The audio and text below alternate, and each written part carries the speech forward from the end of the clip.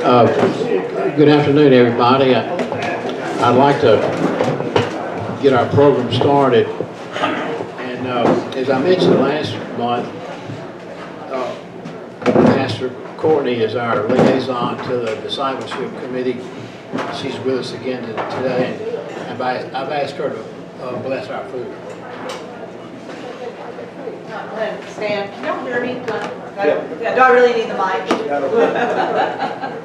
All right, let's pray. Gracious and loving God, we give you thanks to come together this way for fellowship, learning from one another's experiences. Lord, we pray that you would bless this time, that it would be meaningful for all of us, and we just give you thanks for the simple blessing of sharing a meal and fellowship with one another. We ask, Lord, that you would bless the food that we have enjoyed. Make us strong for your service. All this we ask in your holy name. Amen. So I wanted to remind everybody just quickly about our discipleship committee at the church. Um, Our mission as followers of Christ is to reach out to the church, spreading the gospel, to strengthen one's faith in, in our God. Together in obedience to God and being faithful to scriptures, we desire to further develop our relationship, not only with our master, but also with our fellow man. Making disciples, teaching one another. We want to assist members of the church by making disciples among children, youth, and our adults. This series, I think, has been a blessing already for all of us. We've even, we're now meeting, we, we plan to implement a wisdom series for the women in the uh, latter months of uh, October, November, December. So I think we're looking forward to kind of putting that together. And, um, you know, we on the committee, we, we believe it's a privilege to be able to be a part of that, that committee. And it's a privilege for us also to, to see y'all coming in, gathering, gathering together, ha- having our fellowship. Um, It's really a special, special time. We, we had such a special uh, lesson, I think, from Richard last month of how he served not only Christ through, through the church, but he served our country. I think it was a wonderful uh, testimony. Really, really, our speaker today doesn't need much uh, introduction. But I will, I will say that, you know, Jim is a very unique person. I don't know of anybody in our community, having lived here all my life, who's has such a meteoric, meteoric, challenging life. From his position at Williams Steel,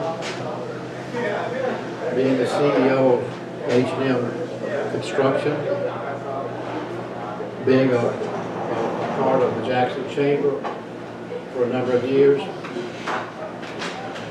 At church, he has served as an elder, currently overseeing the endowment fund of our, of our church, and also he's, he's in charge of leading our long-range planning. So, you know, sometimes it, someone that has a, all those things going for them, they need to be reminded to, to seek, uh, to be humble. And Jim did it so, so well just a few years ago.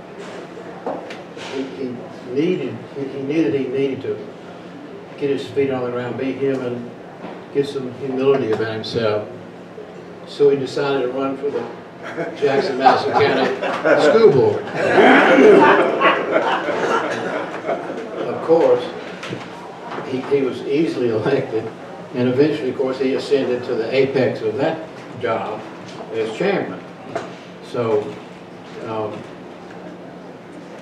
needless to say, he, he, Jim has always loved to take on a challenge.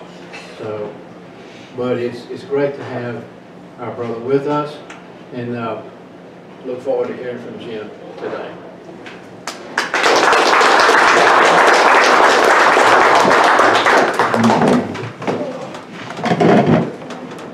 Thank you so much for that. You know, wisdom would be just saying thank you and sit down. It's not going to get any better.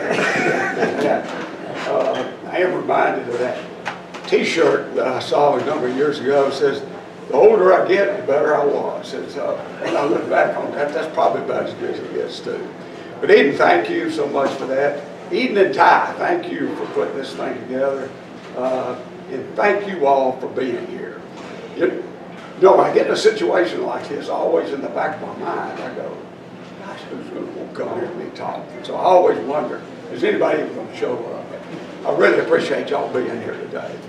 Uh, just in, in way of a quick background, uh, some months ago, Eden and Ty were floating the idea of this, of this series of luncheons, and it was my understanding they were going to ask older guys to come in and share, you know, their insights. And I, I said, this is a fantastic idea. I said, man, I'm really looking forward to this. Uh, I had no idea that they were going to put me in that group of being an older guy in the first place. Had no idea I'd be standing up here as a part of this. And, and Richard, it was certainly before they called this the Wisdom Series and told me I was going to be following you. And I called him, I said, Eden, that is not follow Richard's wife up here like this. Uh, but I finally got okay with it, not comfortable, uh, but okay. I can't get comfortable. I've got my first Sunday school teacher. I got my current Sunday school teacher back there, Steve Bowers, and our associate minister. So how can I be comfortable talking about my faith journey? But I finally got okay with it. Uh, and, and my thinking was this. Uh, wisdom breaks into two big buckets, I think. What you should do and what you should not do.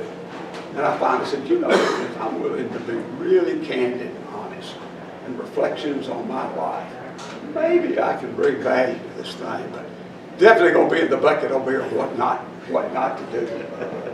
And I, I and I hope, I hope it is helpful. Uh, for those of you who weren't at our last meeting, uh, Richard made the point that the process of building a relationship with Jesus Christ is a, is a gradual process. Uh, and that's and that's true. Uh, I, that process I refer to, like I think many Christians do, as my journey, my faith journey, my spiritual journey, and I think that's what most Christians think of. And I found that journey on uh, the, the prayer that Jesus was having with his disciples at the Last Supper. Uh, and if you recall, he, he was praying and he said, Father, this is eternal life, to know you, the one true God, and Jesus Christ, whom you sent.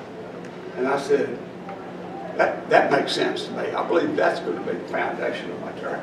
And I've come to add to that a little bit. And I, my, my goal with my journey is to know God better so I can love Him more deeply and follow Him more closely. And I know uh, that the road, the avenue to do that is through my relationship with Jesus Christ. But I'm getting way ahead of myself uh, because it was years and years and years before I figured out that I needed to be on a journey and figure out what that journey journey looked like. Uh, in, in spite of growing up in, in a great church, First Presbyterian, from the time I was in the third grade, in spite of uh, a loving, nurturing uh, church family, in spite of great Sunday school teachers, uh, in spite of loving parents uh, who were very, very faith oriented, uh, the whole concept of spirituality just was not connected. Uh, I graduated from high school, uh, went to the University of Tennessee uh, in Knoxville for four years, and never thought about going to church, never thought about any kind of relationship with Jesus Christ. Uh, I attended Knoxville uh, on an Army scholarship, so right at graduation, I was commissioned in the Army and went into the Army for seven years. And for that whole time, I never thought about, never even thought about going to church, never even thought about any kind of personal relationship with Jesus Christ. And as bad as all that sounds, it gets worse. because uh, in, in the late 70s, uh, Dad had about four partners with him at William Steel, and we'd all grown up working at William Steel. And he called us, he said, he said, boys, he said, uh, uh, my partners are ready to sell this company. They're looking for buyers, and if you all even think you want to come back, now's the time. You better make up your mind. So uh, my brothers and I talked, Mona and I talked, and we decided, yeah, that's what that's what we want to do. And so uh, in 1979, I resigned my commission uh, in the Army. Mona and I moved back to Jackson, uh, rolled up my sleeves, and very, very quickly, work became the central focus of my life. It was practically all consuming for me for many, many years. I say practically because Mona and I started our family. We had two wonderful children, and I would carve out time for the family. But that was it. Uh, other than that, my focus was on work. Uh, and, and, in my defense, that, that was not driven by, by greed or by money. It wasn't driven by ambition. and It wasn't driven by recognition or the need for anything like that.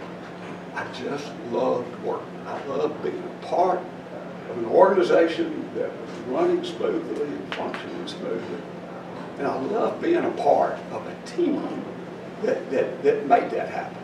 Uh, in, the, in the military, that was the thing I really enjoyed the most was that camaraderie with the officer corps there.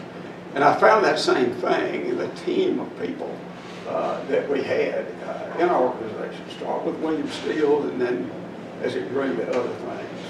Uh, I, I, quickly, uh, you know, developed this uh, affinity, a loyalty, a sense of accountability to that team that was really all-consuming to me. And, uh, and still, we just got fantastic teams of people.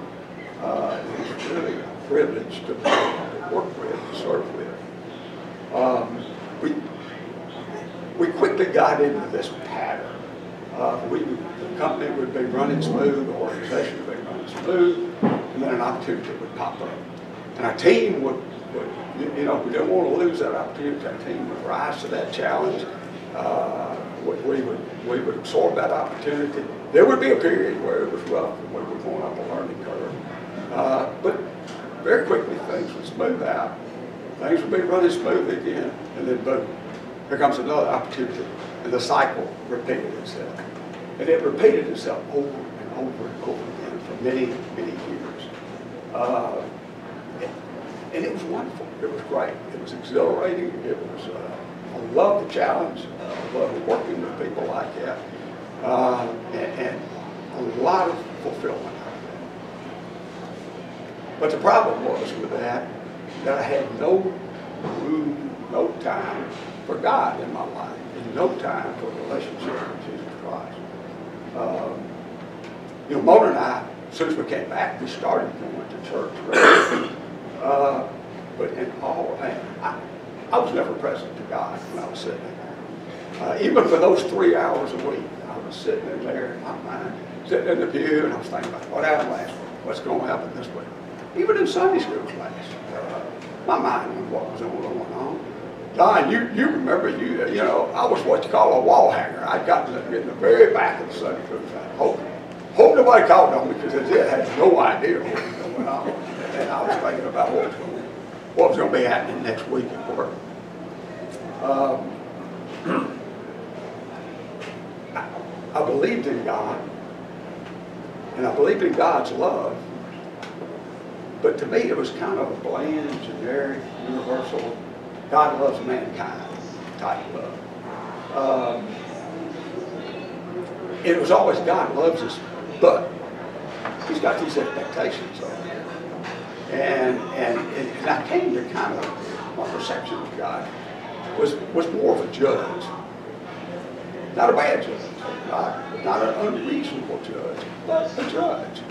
And these expectations he had here, what he, what, uh, what he wanted to see us, what he wanted to see us do. And so I fell into the, fell into the trap, I guess, of saying, you know what, I think I can meet those expectations by being what I call the Ten Commandments type guy, you know. When you look at the Ten Commandments, and really, I did a pretty good job of staying within those boundaries. Uh, with the exception, with the exception of not working on singing. Other than that, I stayed in those boundaries, but when you, when you look at them, they're really not very challenging. I mean, you, not that much struggle to stay in. And so, I, I, I was comfortable, you know, I had, I had God over here big, and I was meeting his expectations without a lot of trouble. Uh, I had him, I had him in a pretty, pretty tight little box there, uh, and, and had that, had that up on the shelf. And I, I very intentionally said, there's no place for God in the workplace. Uh, and, and, you know, I look back on that and I go, God, I. But, but at the time, I think my thinking was, first of all, I didn't know the difference in spirituality and religion. Uh, and, and I think it was kind of an extension of the separation of church and state and all that, you know, we, we, we need to keep that separate over here. This is, this is work, this is, this is the organization, and here's what. We, we don't want to get that all mixed up in. Um, and so, things like that rocked on my prayer life was, was that quick, Lord's Prayer night. Um, I did, I did say every night, uh, prayer thanking God for Mona. For those of you who know Mona, you, you understand that. But other than that, I had no, no prayer life absolutely no personal relationship with Jesus Christ.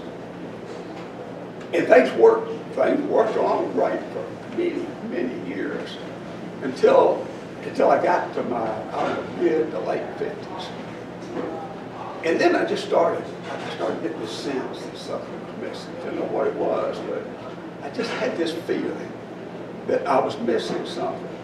Uh, I God had created us, but I, but I started asking for, for, what purpose? Am I really here just to do one more job, one more project, one more opportunity, one more whatever? Uh, I took a quick assessment of my life, and I said, it doesn't get any better this. Mona and I have been married for about 35 years, and still cherished every minute with her. Uh, by the way, we're, we're celebrating our 50th uh, this uh, this fall, and, and still still cherish every every minute. Two wonderful children, business great, health great.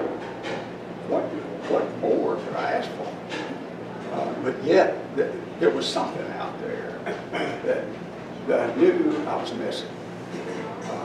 Years later, uh, I read a quote by Augustine that really nailed it said, the heart is restless until it rests in God. And that nailed me perfectly during that period. I was just restless and unsettled. Uh, I started, I started reading, I started, started reading scripture, I started reading books on spirituality. Uh, and, and, and during that time, honestly, the more I read, the more confused I got. Uh, I- the more questions I had, more things I didn't understand about, uh, you know, uh, how God worked and what, what, what that was all about. Now, fortunately, during that time, as I look back, it's clear to me now, God started pinging me with messages and, and on His love.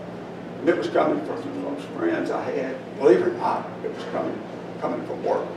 That's another old story I can tell sometimes. And all of these inputs I started getting from work on God's love, it's just, just amazing. But also coming from my, from my church. Uh, I got into a fantastic Sunday school class that Steve Bowers teaches, and, and John White came to our church in 2003. And, and, and John started preaching God's love, God's love, God's love. Uh, how many times have we heard him close a service with, no matter who you are, no matter what you've done, just know that God loves you more than you can possibly imagine.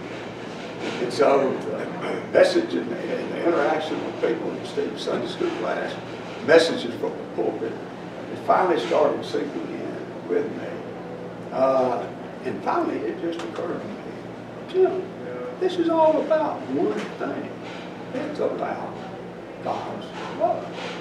And it's not that bland, kind of universal love that I had limited God to before. And this is where I struggled with the right words, but it, but it was about that, that wonderful, that glorious, uh, that, that unconditional, unfathomable, uh, eternal, vast, infinite love that God has for me personally. Uh, and, and, and his desire that I receive that love and I accept it, and in turn love him and love my brothers and sisters. And I know that so simple. God, love, love God, love each other.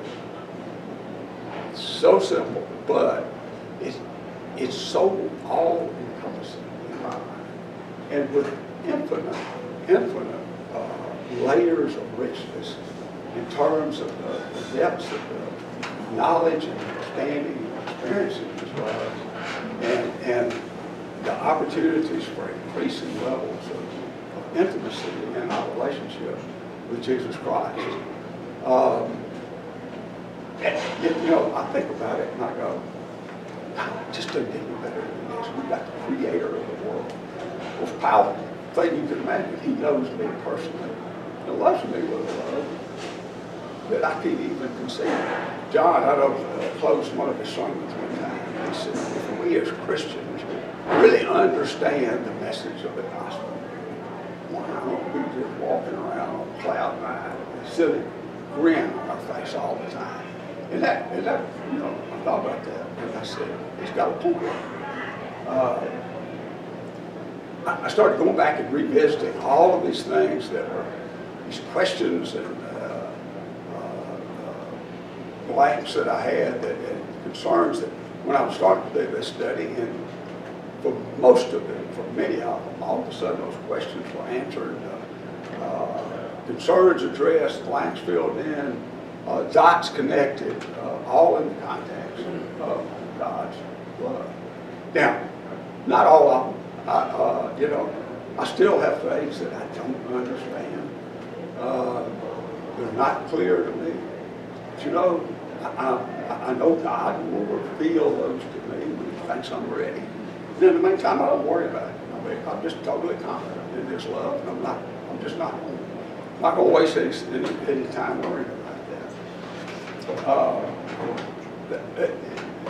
just a few thoughts on that. Love is a really many facets. Uh, Paul does a great job in that, you know, his letter to the Corinthians when he spells out what love is. You know, love is patient, love is kind, it's not proud, it's not uh, self-seeking. It's that section you hear read at weddings a lot of times. Uh, and that's really, really helpful in understanding love. But I've come to believe that in its essence, uh, love, it, it involves subordination of the self to the point of self-sacrifice. I believe it involves my subordination of my will to God's will, subordination of my self-interest, the self-interest of my brothers and sisters. I believe that that is the love that, that Jesus modeled for us, that he preached to us, and most importantly, that he demonstrated his passion and crucifixion. Um, I believe that the love God calls us to requires action. I believe it's an active love. It's not just a feeling out there. He wants to see us demonstrate it with deeds. I read something one time that, that, uh, that resonated with me. It said, God doesn't necessarily call us to do great things, but rather small things with great love. And that, that, that resonated with me. Um, the, the other thing I can say is I've come to realize how very, very wrong I was to exclude God from the workplace. Uh, whereas I thought there was a place for God there. There's not only a place for him, there is a desperate need for him and for his love in the workplace. And I'm finding that more and more people in the crave that and need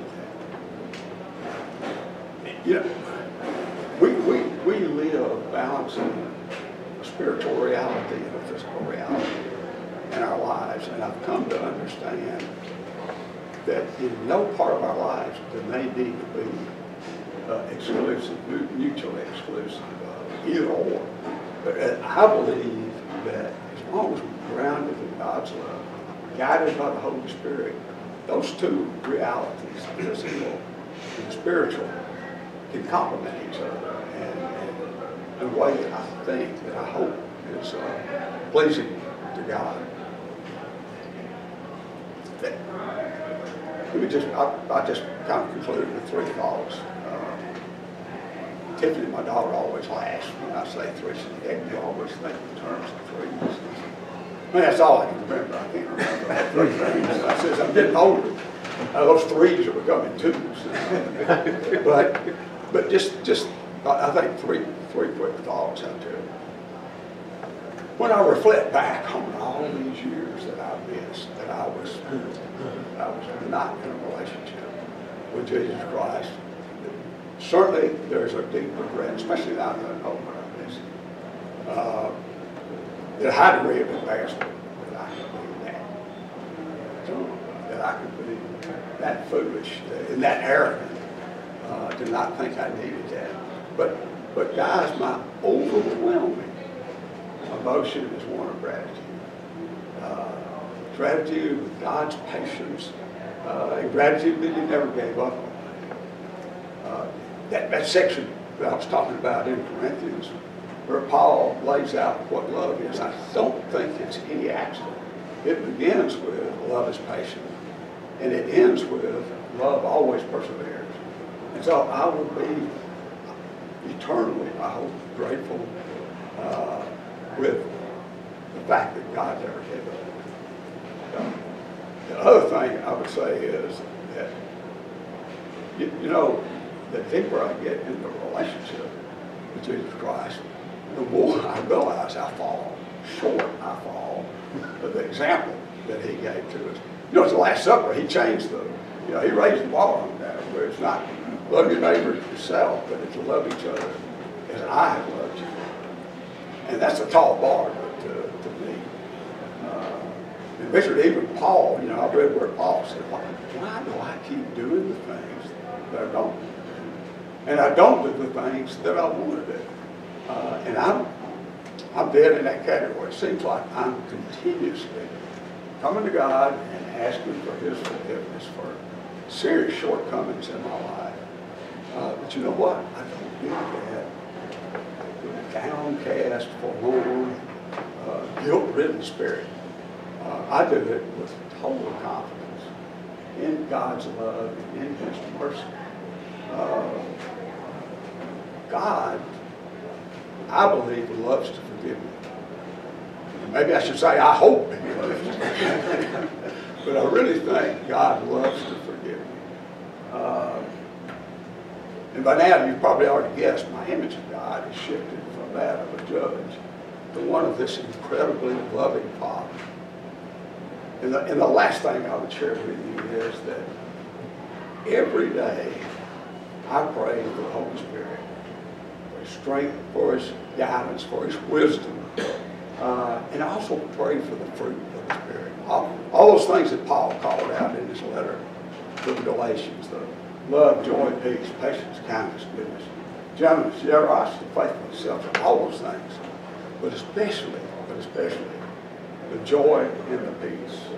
Uh, it's the joy and the peace that I believe God desires for us, Planned for us. Uh, and it's, it's the joy and the peace that finally I realized this, this world can't give us. And fortunately, this world can't take it away. Um, thank you all so much. I, I hope I had, speaking of patience, I hope I haven't tried yours too long.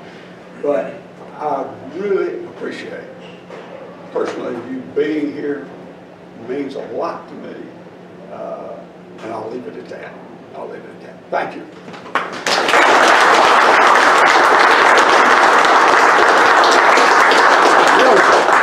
I'm not bold enough to ask for questions like Richard did. so- Richard asked for questions, I'm not gonna go there.